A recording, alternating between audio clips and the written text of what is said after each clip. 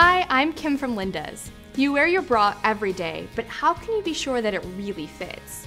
Here are a few sure signs that you can check at home to make sure that your bra fits properly. The most important part of your bra is the back band. A snug fit is important because it provides about 90% of your bra support. Your bra should fit snugly straight across from underneath your bust to your back. Tip, if your bra band is riding up, it's usually too big. Bras stretch, so you should start with it on the loosest hook, so that way as it stretches, you can move it in. After you get to that tightest hook, that means your bra is stretched out. A note on back fat. We all have it. Your bra has to be snug just for it to do its job. So believe it or not, a little bit of overhang actually means your bra is doing its job. I mean, you have elastic going around your body and nobody's made of steel, so don't worry about it.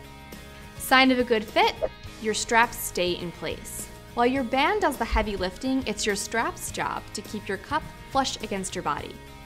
Straps should be snug enough to offer a little bit of resistance without digging in. Loose straps will actually cause your breast to sag.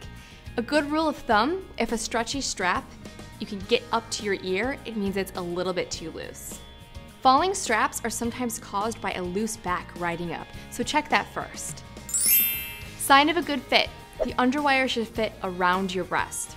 In a well-fitting bra, the underwire should fit directly around your breast tissue, not digging into it, not on it, and not far below it. Tell your breast where to go. Pull the wire back and your breast tissue forward so that it's all the way inside the cup.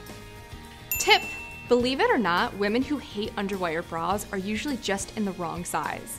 In the right size bra, an underwire bra is actually pretty comfortable and far more supportive. Sign of a good fit, the breasts fit perfectly in the cup.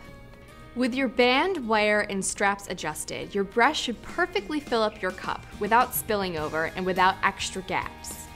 Tip, if your bra is giving you the right support, your nipple should be about halfway in between your shoulder and your elbow. Any lower, and that means you're sagging.